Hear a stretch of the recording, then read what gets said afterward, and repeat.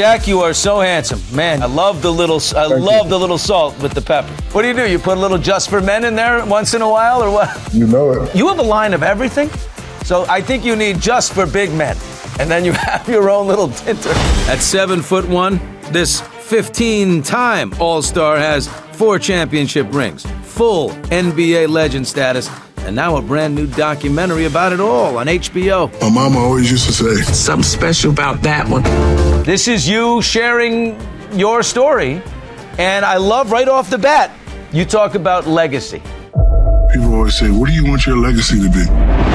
What do you want your legacy to be? I want people to say Shaq was a nice guy. That's it. They can say that. That's it. Nothing else matters. It, it doesn't matter how much money he made or how many companies he made or how many championships he made. When you met Shaq with your son, was he nice?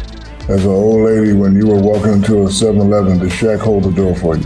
When you spoke to Shaq, did he speak back? I played the game, I dominated the game, but my time as the, as the, game has been over for 10, 12 years, just want to be a productive citizen that gives back and, you know, that kids can look up to. So Want my legacy to be, be Shaq was, was a nice guy. I got to imagine you as a kid. Were you a shy kid because you were, you know, six foot nine at 13 years old, or were you like always this big personality, outsized, you know, comedian, class clown? What were you? wasn't really shy. I kept to myself, but because people would talk about my size and my age and my stuttering, I, I became a bully. But then a, a very terrible incident happened, and I realized I was much stronger and I could really, really hurt somebody. So I said to myself, okay, how do I get people to to not look at me as tall all the time? Oh, I'll just become a class clown. So I've always been a medium level juvenile delinquent, aka class clown. I just like to make people laugh. Laughing relieves a lot of stress. So you took a, you, you almost took somebody out,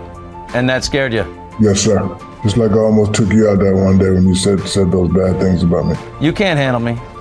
You can't handle me. you know that. You know that. I'm so quick. I get underneath you like that. You whoo, whoo. It's like reaching for a lamp in the dark. Whoo. You can't find me. I'm just whoo, right underneath you. If you had not gone into basketball, what would you have done? I'd be I'd be doing what you'd be doing, and you wouldn't have a job. extra, extra featuring Shaquille O'Neal. Yes, that's what I'd be doing. I'd be doing it all. Or it could be Billy and Shaq, or Shaq and Billy. I like that. I'll give you top Yeah, billing. Okay, cool. No, no, you could have top billing because you have a, a, a lot more energy than I do. But come February, he's going to be hosting Shaq's Funhouse, the Super Bowl's blowout bash. The big fella does it right. For like 250 bucks, it's cocktails, open bar all night, Snoop on stage. You're flying in fans. This is as big as you've ever done it, and you're big. Yeah, I like uh, you know, thank thank uh, NetSpend and Takis, uh, my, my major sponsors. Listen, we're going to Phoenix. I'm known as the Big Cactus in Phoenix. This is the uh, fifth Shaq's Fun House. We're gonna have a great time. Since you would have been a better host than me of Extra, take us to commercial break, please. Hello, this is Shaquille O'Neal, I'm chilling with my main man Billy Bush, and you know the song. I want you to sing it with me. Extra, extra. We'll be back soon.